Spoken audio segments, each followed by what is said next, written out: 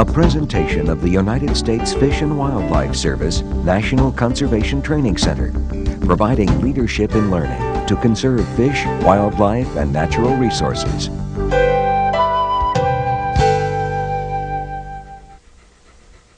Hi, I'm Mark Madison, the historian at the National Conservation Training Center, and I'd like to welcome you to another of our series of distance broadcasts talking with conservationists in action. And I think uh, we might have one of our strongest lineups ever this morning. Uh, we have some representatives from Mission Wolf who are, are going to be with us for the next hour answering any questions you might have about gray wolves, about their particular work, and about the possibilities of wolf restoration. And the first of our Mission Wolf guests I'd like to introduce would be Kent Weber. Kent, welcome to the National Conservation Thank Training you. Center, and, and thanks so much for coming here. Uh, and I'd just like to let the audience know uh, we have two other guests from Mission Wolf here that'll be coming out uh, in a couple of minutes. One is, is Tracy Brooks, who's, who's also out here doing the Ambassador Wolf program, we'll talk about in a bit. And then we have Maggie the Wolf, um, which I think is, is perhaps the most distinguished guest we've ever had on this. Was that Maggie? Yes, that was Maggie announcing right. her presence right there. Well, Ken, why don't we just start out with a, a, a quick explanation of what Mission Wolf is and what, what you all do? short and simple. Americans are very confused when it comes to nature. We either are afraid of it, and that's why we've destroyed it, or we think it's so beautiful we want to buy it, which doesn't help. So that's what Mission Wolf is. It's a sanctuary for the captive wolves that are already stuck in cages, can't go back to the wild. We just give them a nice home. Um, and more so, it's a place where people can come learn about nature without destroying nature. Um, so to that point, we find we can talk and talk all day, but uh, why don't we just bring our guest on out? That'd be great. And we've got a very special, very unusual guest. Her name's Maggie. Uh, she's a four-year-old Canadian gray wolf, and she's very healthy and strong. But she's got one problem. She was born in a cage with people, and we'll see if we can get Maggie to come on up. She does kind of what she wants. Well, how you doing, pretty girl? Welcome, Maggie and Tracy. This is Maggie, and this is my wife, Tracy. Now, as you can see, Maggie's not afraid of us. She's very calm, she's very tame, but she's not trained. She Right. does pretty much what she wants, when she wants. Um, but because she was born in a cage, she's stuck in a cage. Um, a lot of people uh, are liking nature, and even like with this show, to get a wolf onto TV, it's very difficult. And a lot of people don't like the image of a wolf with people and a collar. So they go get a wolf out of a cage and they make a movie in a fenced area. Of course, you don't see the fence. Right. And then after the movie's over, they don't want the wolf. And that's how we ended up with Maggie. She's four years old. Um, she's right in the prime of her life. And uh, she hasn't been on too many sets like this. She's sitting here looking around, watching everything. But as long as she's willing, she's why we call her an ambassador. If she ever gets scared and is stressed by this, she can go back home to her sanctuary. How long has Maggie been an ambassador wolf? Uh, Maggie was rescued at the age of four months. She was adopted by one of the other wolves we have at a sanctuary. And what's unique about Maggie is she has a low flight reaction. Nothing that we did. We didn't Right. treat her or teach her this. It's just some wolves, if a pine cone falls out of a tree, some wild animals, they jump up and they run 100 yards and then they turn around and go, oh, it was a pine cone. Maggie's one of the few wolves that all of a sudden it drops, it hits the ground, and instead of running, she freezes, she turns around, oh, pine cone. Very low flight reaction. And so, because her fear or flight reaction is very loud, she also has learned she gets to be center of attention. Um, you can see she's got no problem just standing here. I've got a little tiny treat in my pocket. I'm going to see if I can get her to stand up here on this stable in front of us.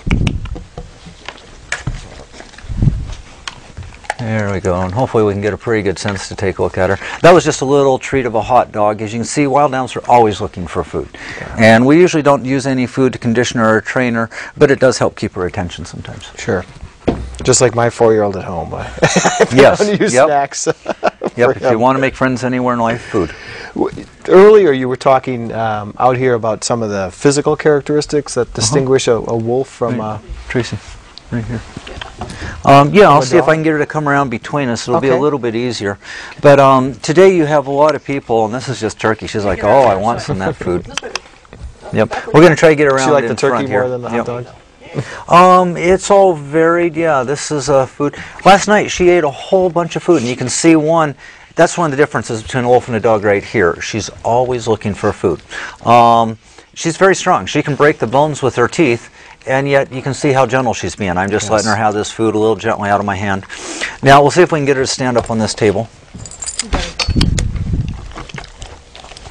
Can you come on up? We got to be a little patient here. There we go. Now, one of the things I can do is I can hold her chest and her elbows right together. Yeah. And you see how narrow this chest is. She's got a longer chest than a dog. Your head already is just enormous. Um, and probably the biggest difference between a wolf and a dog is right here. It's her brain. Um, she thinks for herself. She has no need to make you or me happy. She only needs to take care of herself. Where domestic means they do what we want. Right. Uh, we've taught dogs to do all kinds of things. Her way of greeting another wolf is instinctual, and it means I go sniff the other wolf right on the nose. To tell her not to sniff you on the nose like you would a dog would go against her instinct. It'd be like trying to teach a child don't ever hug. One of the things I want people to notice while she's up is look at the length of her tail. It stops right at her knees, where most coyotes have a longer tail. Uh, foxes have a real long one, and can you do a little song? Sometimes she'll sit there and she started howling when she first came in. Yep, I'm going to let her walk off that. As you can see, it's a little awkward for her to stand still. But um, yeah, in a nutshell, there's about 20 differences between a wolf and a dog. The first thing you saw was her head. Her yellow eyes are slanted. She's got a flat profile on her nose. Again, the narrow elbows. She's got huge feet, web skin between her toes. Um, some dogs have web skin. Some dogs have a flat profile nose. Uh, some dogs have two layers of fur coat. It doesn't mean that they're part wolf. Um, and yet, what we've learned through uh, DNA analysis is that all dogs are related to wolves, not coyotes, not foxes. Yeah. I can attest to her beautiful voice. I had a answered machine message from you guys with her howling in the background, and I, I refused to erase it. it was.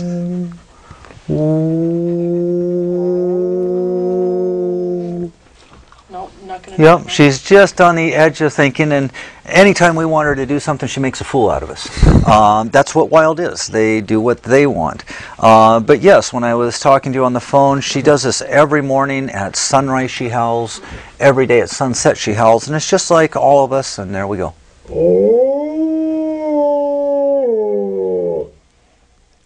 And what it is is kind of communication. She's like, "Where's the pack? This is unusual. We're standing still." Um, she has other members of the wolf family back in Colorado that she would like to uh, probably request to come here.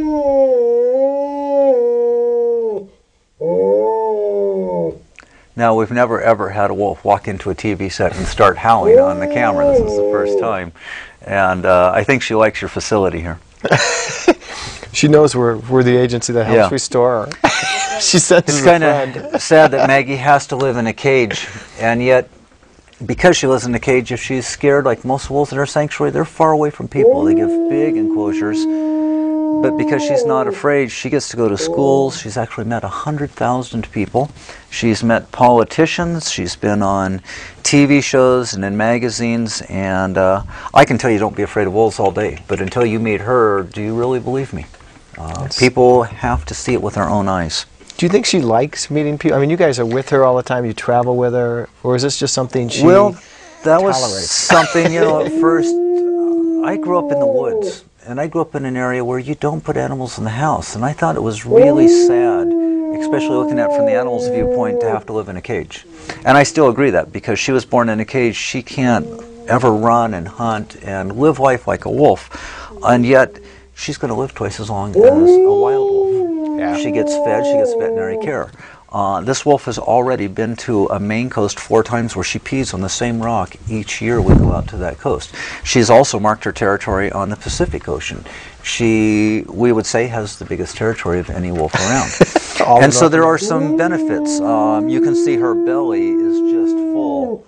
And even though she's got a full belly, she still uh, is always ready to eat.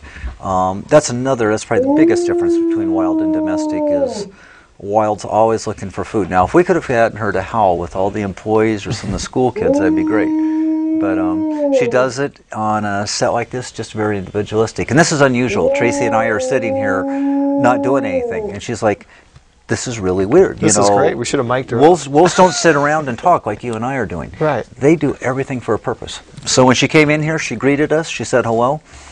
I don't need to sit around and be petted now. I'm going to go explore the studio. This is great. You started to talk a little about um, where the wolves are in, in your sanctuary outside uh, Gardner, Colorado. tell us a little about that. Yeah, Mission Wolf, uh, it's a sanctuary for captive wolves. These are all wolves that were already born in a cage. We don't do any breeding. There's no reason to have a wolf in a cage except to teach people why wolves shouldn't be in cages. Um, and so the sanctuary was set up with one purpose to give the wolves freedom from people. Huge enclosures far away from people so they can howl and do whatever wolves like to do and not bother humans, and yet they're still confined. Well, what we found is that nobody believes it till they experience it. And by having a wolf that's brave enough, like Maggie, to go travel, we go to audiences now that won't even go to their local nature center. To get them to come down to their local school gymnasium or the local museum, you've done a pretty good job.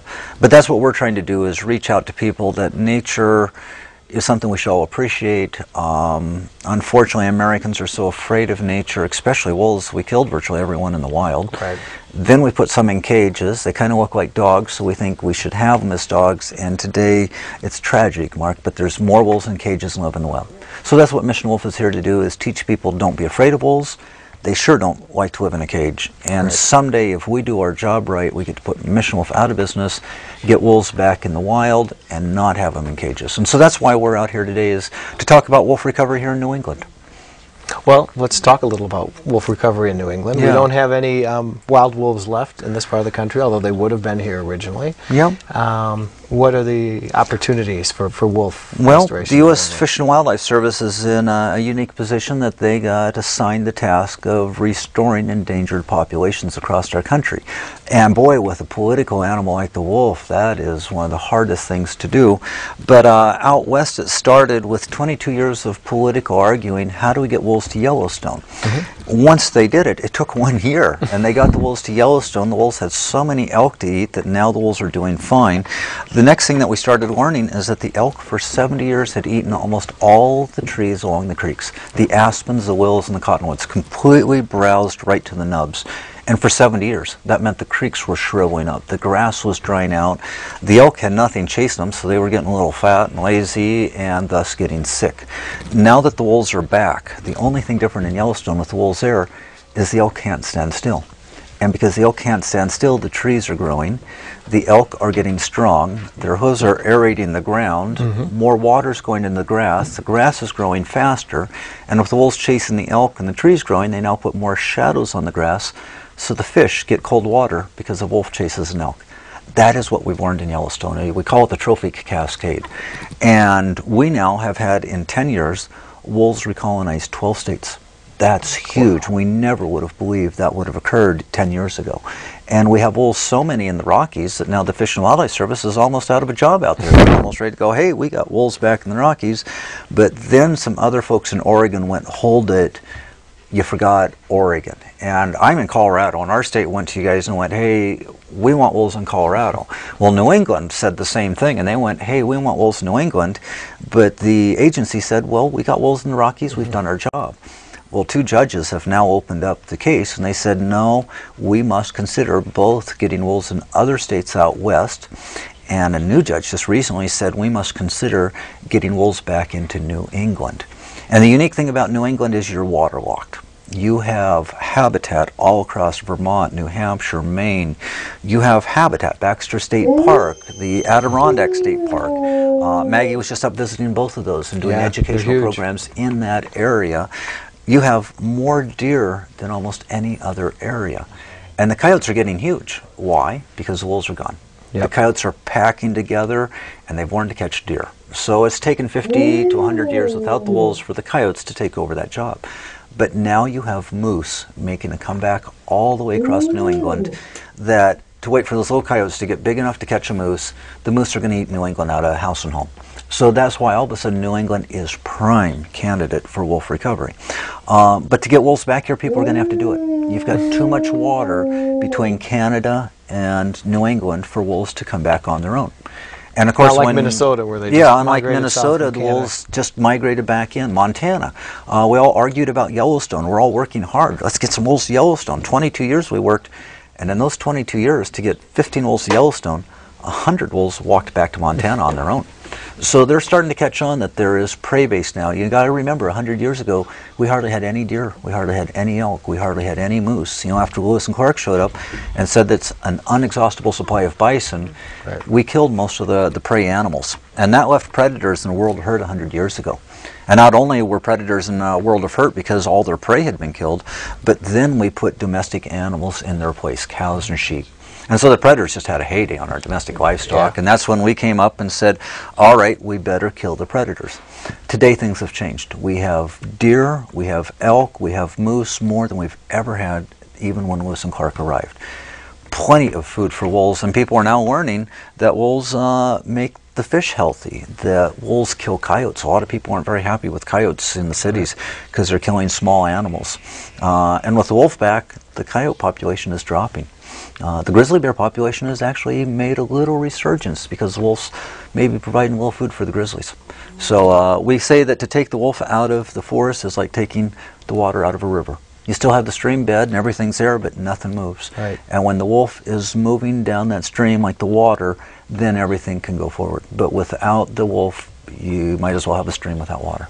Yeah, I mean, you used a, a, a, term ecologists use, trophic cascade, but that really did catch a lot of us by surprise. I mean, we suspected wolves would increase uh, the health of, of elk herds and, and deer herds and so on, but the idea that it could have an effect on the botany and the fresh water, I think everybody was was It is very surprised and, and Yeah. for once pleasantly so. Uh-huh. The willows came back and, and all these other. we saw the researchers and the biologists that went and put wolves in Yellowstone. All right, we got about three to five years, and then we're going to be out of work, and we'll have learned it all. And the reality of it is, there are new groups every year that open up a new study. Uh, there are students that will go study a carcass of an elk now that a wolf caught. And they won't go study the wolf, they study that carcass. They are learning that sometimes upwards of 180 different species get food. Wow. The, where before the elk would just die, nothing could eat it because it would just rot. There was nothing to open it up. And now with the wolves opening the carcass, they get the prime food. They go off find another sick elk, and the coyotes and the bears and the birds and the squirrels. Um, boy, she's just singing away here today. Well, Maggie's reminding me, I've, I've had a great time conversing with you and asking questions, but this is a live broadcast. So if, if people in the audience would like to uh, tune in and, and call in a question for, for either Kent or Tracy or, or Maggie, um, we'll attempt to answer it. So we, we'll put the number up. But if you have any questions about wolves, please do call in. I, I,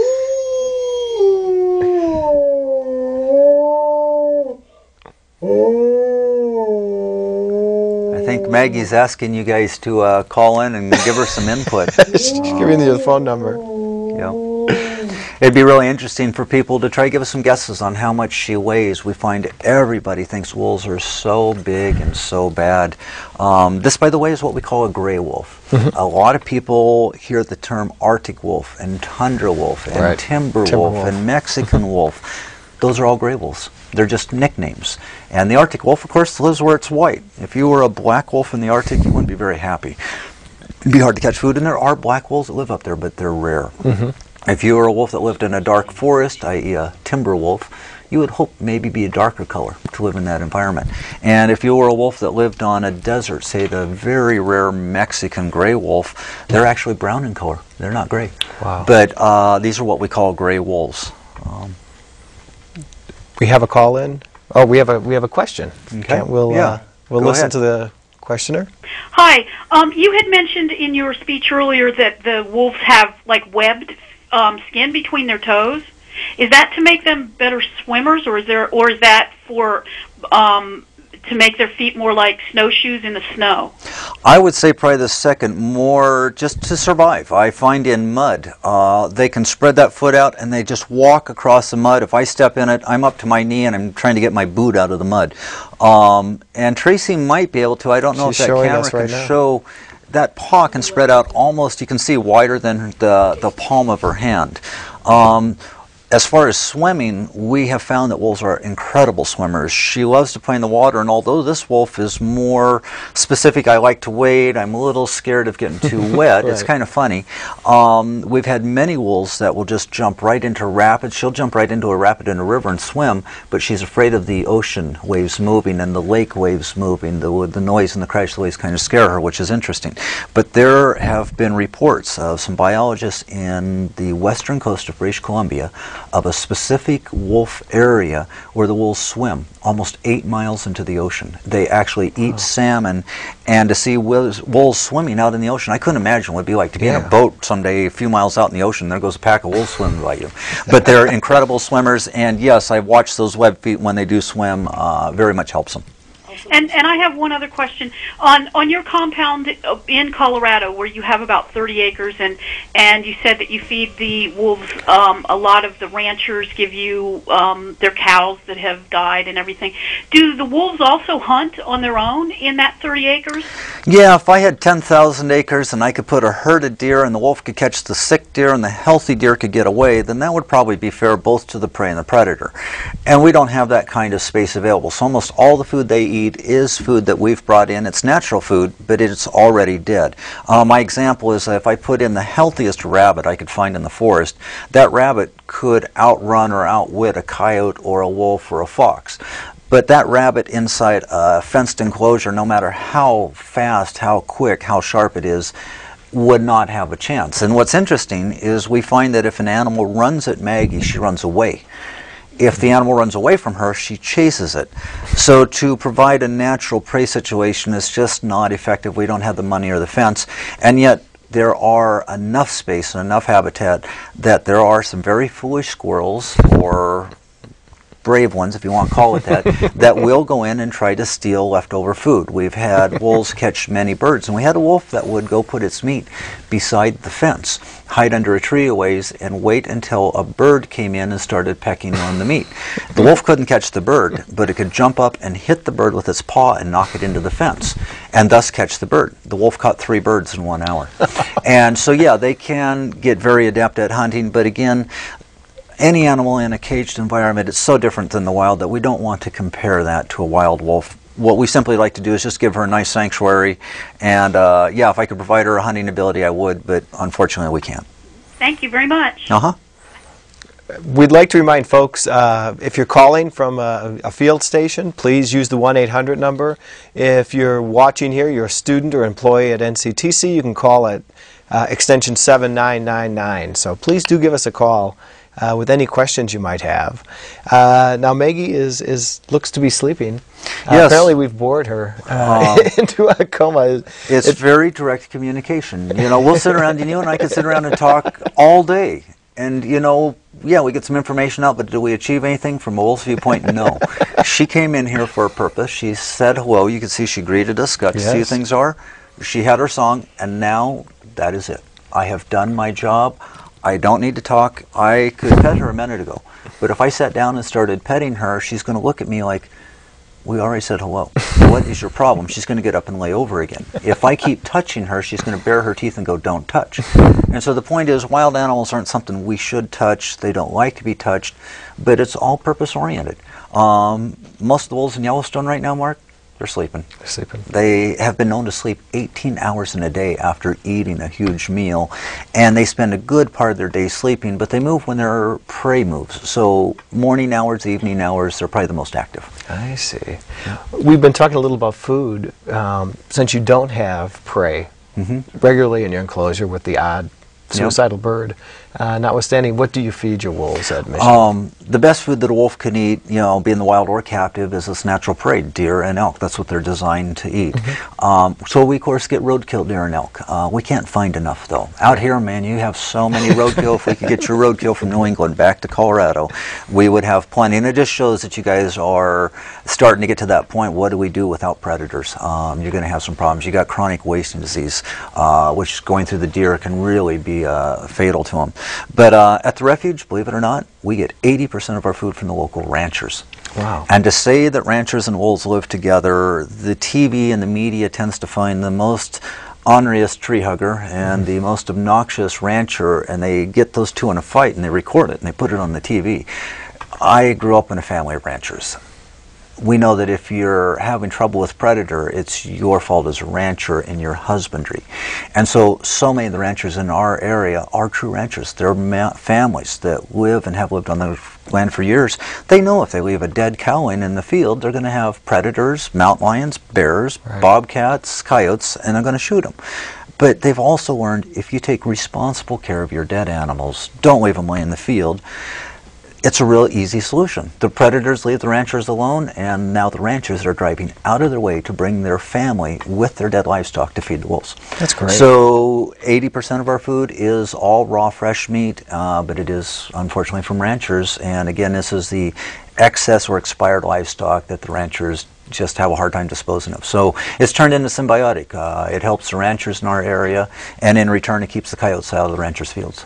That's great. Yeah. You know, I have to do a political plug here.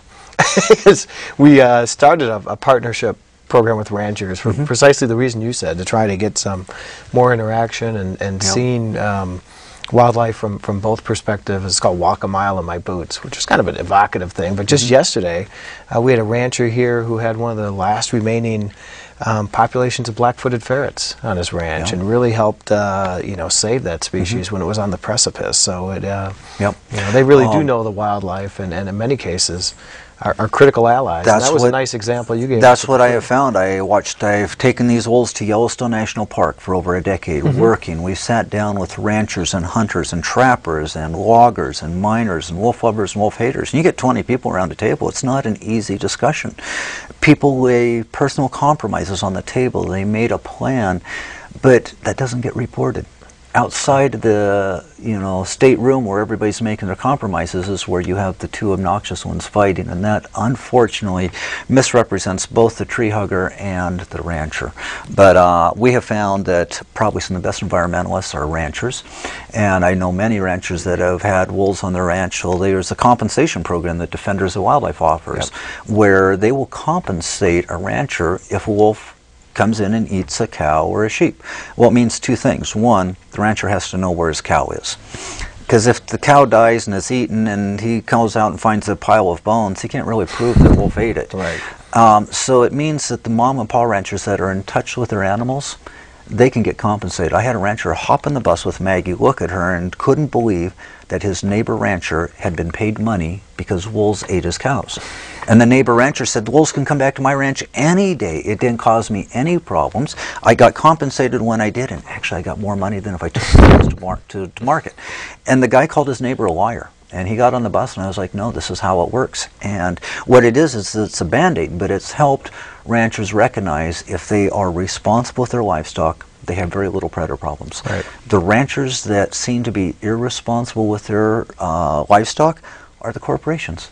It's easier for them to hire somebody to go out and kill the predators than it is to hire enough cowboys to watch 3,000 head of livestock. Most mom and pa ranchers, 500 head is most they run. Earlier, uh, since we have Maggie here and we're talking about uh, um, the Ambassador Wolf program, mm-hmm. you, you said one of the reasons you go out to like school groups or here um, is to overcome misperceptions about wolves. What what are some of the misperceptions that the general public may have? Well, you know, wolves? 20 years ago, you couldn't find a picture of a wolf, and if you said wolf, people would do it disgust. And wolf mm-hmm. was the devil, the vermin, the evil. And in the last 20 to 30 years, as not only wild wolves have made a comeback, but people have recognized we got to stop clear cutting and polluting our rivers and our air. I mean, there's a huge movement, and it's not just about saving the pretty animals. This is right. about saving ourselves. Um, that we've now kind of come across to a point where um, people are now on the other side of life in America.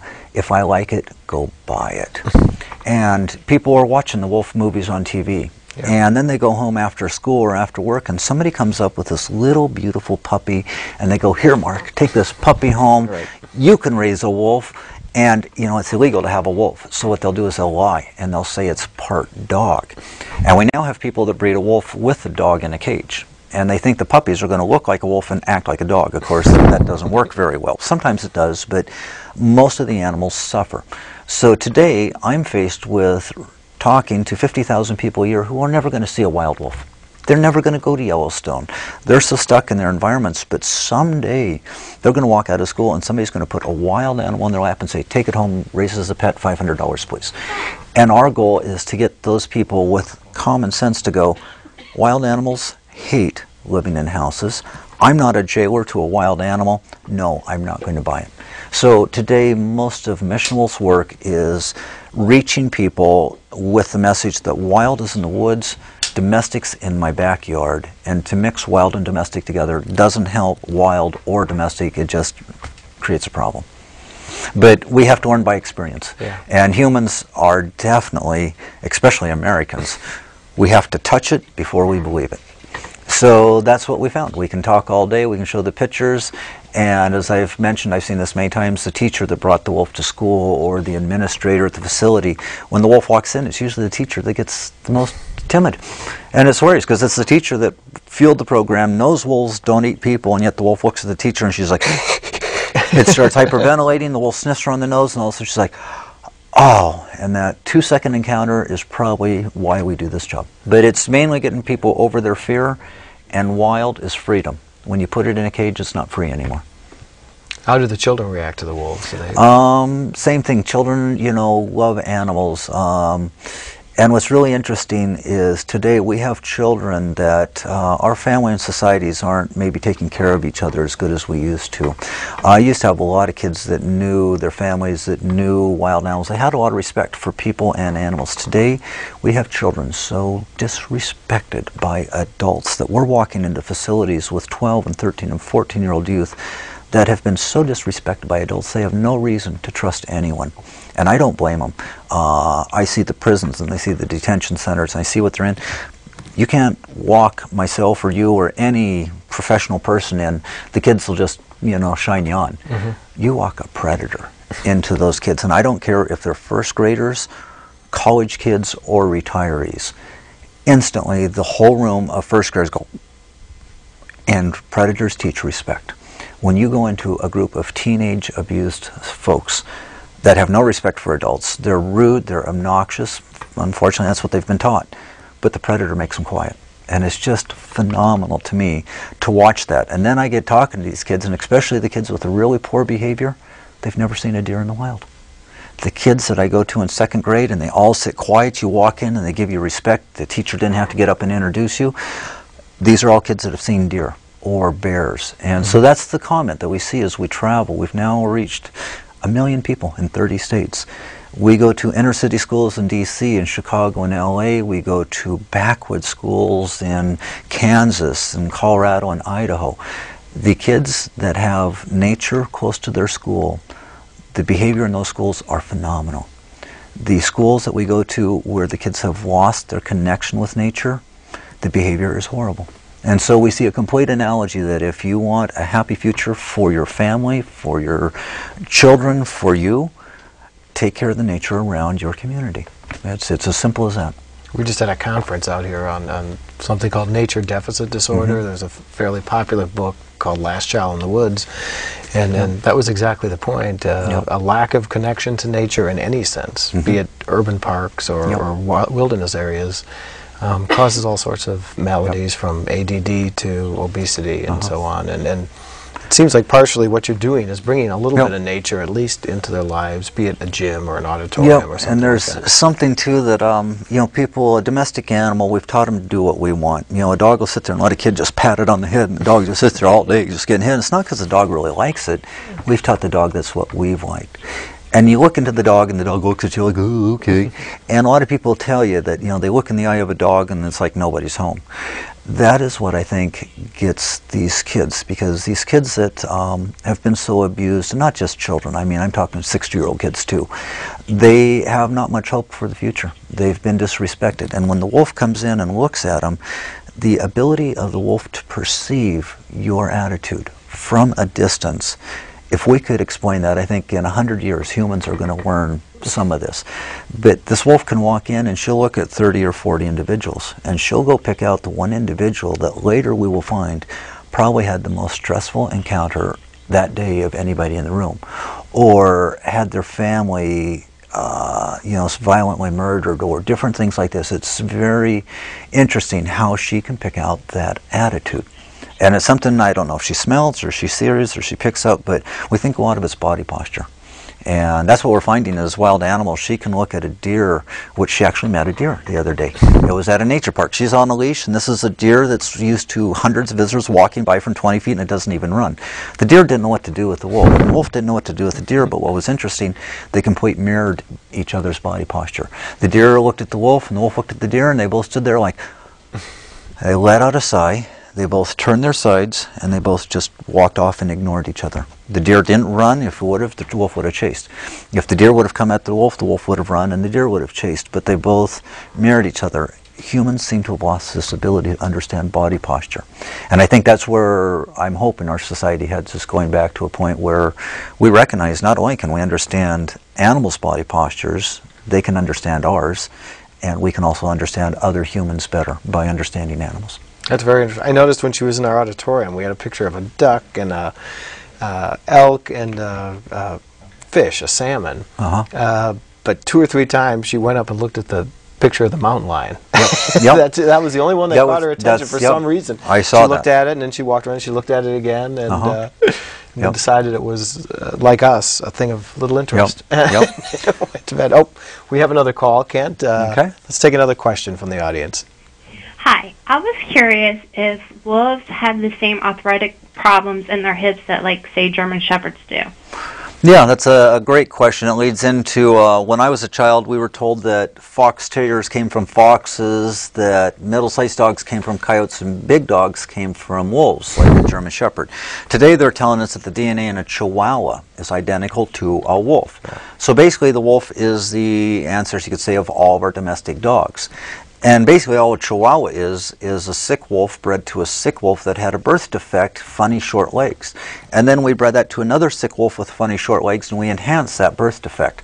So a lot of our dogs today have debilitating problems from these birth defects, whether it be dysplasia that you see in shepherds, loads of arthritis that you see in a lot of dogs, uh, the small dogs, the pugs, the chows with their pushed-in faces, they have huge teeth problems, sinus problems.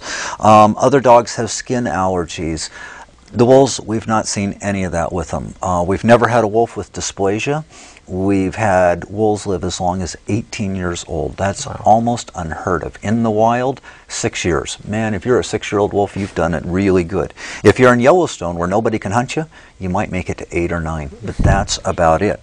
And we're finding wolves at 17 and 18 years of age dying of natural causes, still without arthritis, without dysplasia, without the typical dog problems. But what we're finding I think most common occurs is their bones fuse together just like humans do. They get calcium buildup that puts pressure on the spinal cord and they start losing sensation to their rear legs. Um, so far, we've not been able to find arthritis in there or dysplasia, but um, no, I think wolves are much, much healthier than most dogs. Did that answer your question, caller? Must have. Yep. That's a good point. It actually made me think a little more about your your refuge. How many wolves do you have we have Colorado? 36 right now. I would have 5,000 if I could take in all the ones that need a home, and we just can't. That's why we are motivated to do this traveling. But with all these different ages and them living so long and, and coming in from different uh, locations, how do they form themselves into into packs? Ooh, that's a good point. Uh, wolves are like humans. They're usually find and look for a mate for most of their life. When they do find that mate, that's their mate for their life. And for me to go find two wolves and put them in a fence together and say have a family works as good as me finding two people on the street and say have a family. So that's our hardest challenge. And at the refuge, if I take in an adult wolf, very seldom can I find another adult wolf that they really like each other. Mm-hmm. But if people will give us a puppy, as in Maggie came to us at four months of age, when I put this puppy into a pen with other wolves, they adopted it. They got excited. They regurgitated food. Oh boy, we got a baby. and because we don't let the wolves have babies, it kind of satisfied their own need to raise their young. And then it allowed the wolf to grow up in the facility. So that's kind of how we bring the wolves in. And that's why we also have 15 different enclosures because I can't always get two wolves to get along with each other. So many of our wolves are in pairs. Some of them are in small packs. We had a pack up to 11 wolves, which worked very great in captivity. But you know, we'd like to think, Mark, that you and I, when we get old, our grandkids maybe would help take care of us. If you and I were a wolf, our grandkids are the ones who are going to look at us and go, hey, you old timer, you're over the hill. You blew it on that last hunt. We're all going to starve because you're lame. you get out of here, we're going to die. And if you and I were really strong, we go, no, no, no, I'm not that lame. Young kid, you're the one that made the noise and scared that deer away. You get out of here because I'm doing fine. So in the wild, the elder can leave. Natives called it death with dignity. Uh, or the elder could say, no, I'm really strong, and the young one could leave. But in captivity, they can't. And they can injure or kill each other, which would be abnormal. So that was our job, and that's what happened to Maggie. She took over leadership of an elder female. The elder female couldn't leave the pack. Maggie would have hurt or injured, maybe even killed her, had we not removed her. Now that allows Maggie to be into our own. So, uh, yeah, playing matchmaker tools, it's not uh, an easy thing to do. And they're just as unique as humans. Um, they seek their mates just like humans. Um, they have a cycle once a year. They only mate one week a year. Their courtship goes on for three months prior to that one week of mating. And then they'll sit around in bliss for two months afterwards. And so everything's very exaggerated compared to human society.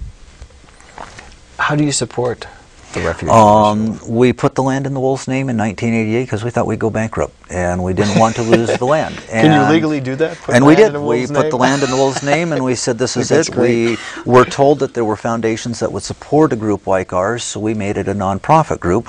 And what we found is the grant writing applications was just as cutthroat as the business Yes, world. yes. And what was really interesting is we had one priority. We gave the wolf a huge fence. We had the fence built while we were still living in a tent before we built the cabin. When our federal inspector came up, went, "I've never seen a place that has big fences for the animals." And nothing for the people. But I gotta say, these are some of the happiest wolves, and that has probably been our success. People came to Mission Wolf, they saw a happy wolf, and they go, Wow, can I help? We said, Sure, build fence, build a cabin, build a path. Here, work on some visitor materials. Today we have 200 acres, 30 acres fenced. Uh, the rest is in a nature center conservation. We have a small visitor building, a small community building, a small vet building, all built out of recycled materials. The refuge runs on solar power, gravity-fed water systems. It's all sustainable, and that was our goal: was to create a facility that didn't need money. So today, unfortunately, we still need money. Our liability insurance eats us up. You can imagine what it takes Yeah. to have a million dollar liability policy to take a wolf to school. And so we still need money, but what we ended doing is we have a membership program where people feed a wolf and they get a picture of the wolf. So that's how we feed them.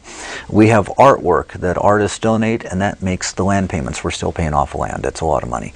Um, we have uh, a program where schools make a donation to the gas tank of the bus, and that way the bus gets around the country to do the education. Uh, we sell some T-shirts, and that fills the voids by his fence. And because all the visitors and all the volunteers that come to Mission Wolf, nobody gets paid. You get some of the most qualified people that are tired of the status quo. They're very, very educated, and they want to just offer something with their life. And when you get 10 people that all try to outwork each other in a day, you get people working 16 hours a day, outperforming anybody in the pay for a job world. But again, they do it because they enjoy doing it. So that's how we operate the whole refuge. It's completely by volunteers. And if anybody's interested, they can go onto our website. They can learn about whether become and visit, see the wolves if they want to volunteer for an hour a day.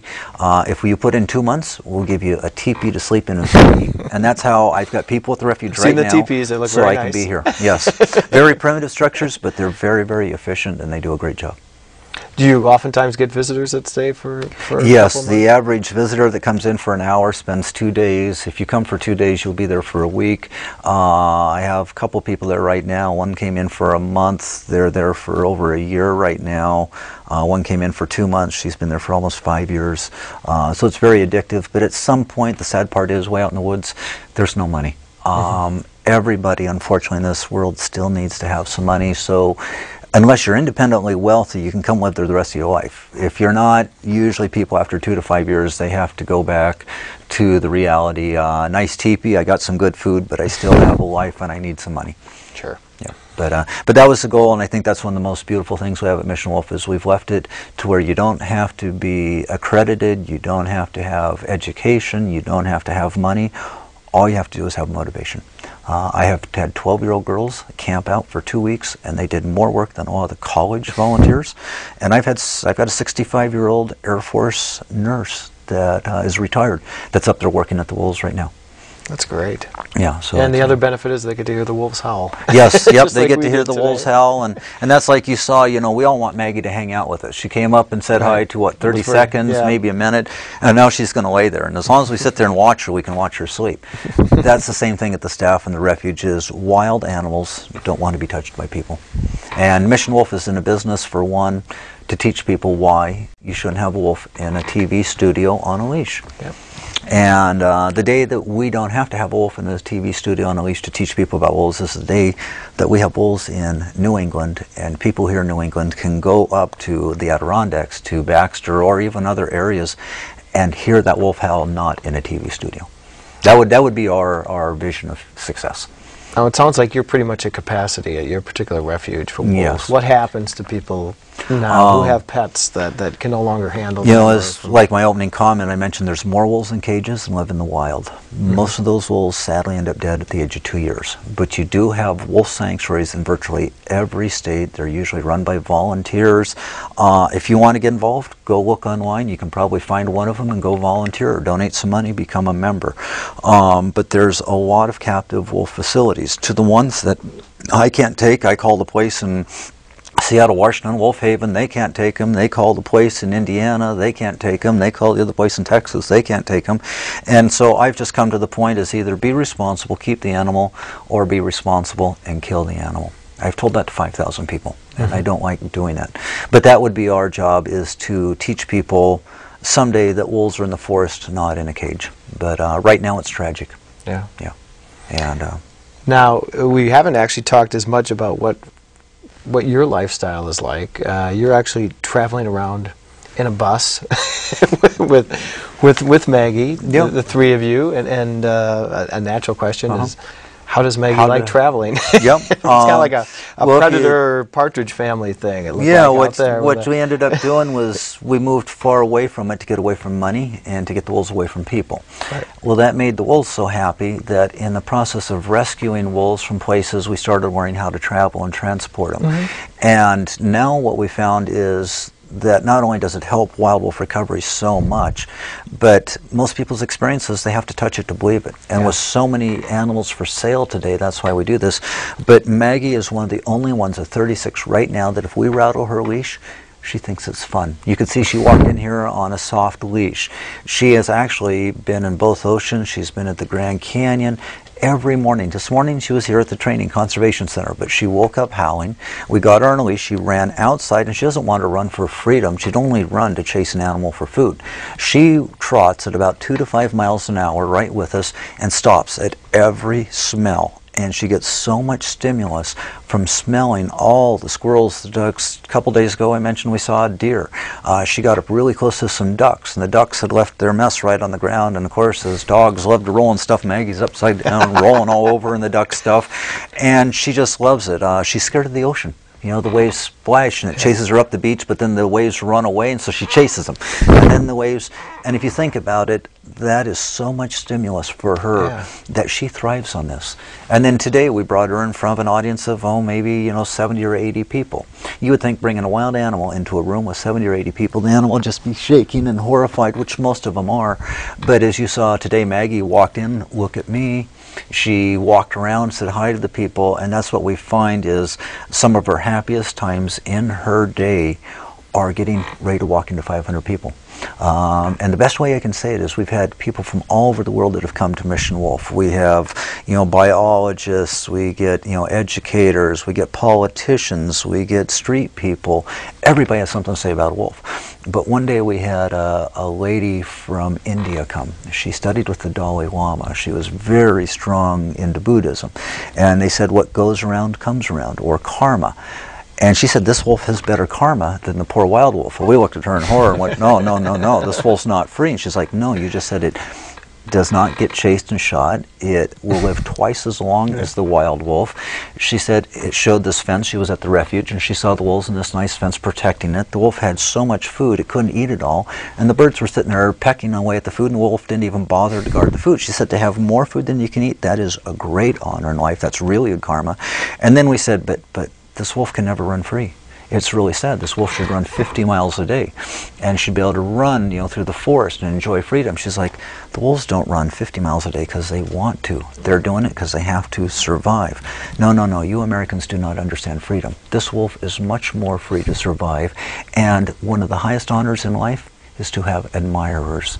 this wolf has more admirers than almost any other person I know. She has a very good life. So do we want wolves in cages? No, I don't. But to answer your question, as long as Maggie is stimulated and enjoys doing this, that's what makes audiences so receptive to our program. Uh, if I drug Maggie into your conference today and I was pulling her on a leash and she was scared and she had her tail tucked and she was pooping on the ground because she was afraid, I wouldn't have done anything except alienated the audience against me for subduing the animal. And uh, I've had some of the most you know, famous wolf biologists that I mean I revere. They're really up there. They've been out in the woods. They know what wolves are. And they usually see wolves in captivity and they're glazed over and they're scared and they're stressed. And I've had a couple of them come up to the bus, get in and look at the wolf, and the wolf just looked in their eyes, looked through them, they went, oh, you know, and it wasn't a tranquilized wolf. You got to remember, most of these biologists, the only way they get close to a wolf is tranquilized. Right. And all of a sudden, that wolf was looking at them with coherent eyes. And they took that double take and that hyperventilated breath. The wolf looked them on the face, and all of a sudden they went, oh my God this wolf is actually happy. I have never ever seen this. And so that's one of my, you know, biggest compliments when somebody says that. But that's the goal is if Maggie is ever scared, she can go home. And I don't know if you've noticed, but Maggie has her partner attached to her on the leash. I've noticed. Um, this is my wife, Tracy. And us guys, we can get around animals all right, but women have this maternal instinct that allows them to get much closer. Right now, Maggie's pointed at Tracy. Yeah. And if anything scary were to happen, Tra- Maggie would run behind Tracy. so we could not do this without us as a team. And what's interesting is, like I said, you know, you can't put on a mask to a wild animal. You can make your teacher and your parents and your kids think you're something else, but Maggie can look right through you. And for example, if me and Tracy, mm, we live together, we've been married for 18 years, some days we're not as happy with each other as everybody gets. Well, if I get mad at Tracy, Maggie knows it.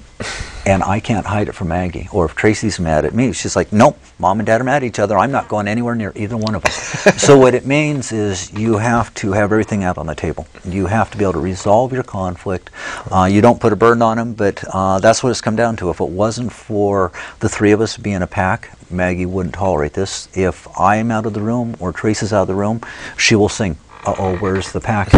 And then when we travel, she's in the bus, and it was like last night, somebody's with her 24 hours a day simply to protect her from people. But uh, that's why she travels. The bus she travels in is very aerodynamic. It's very quiet.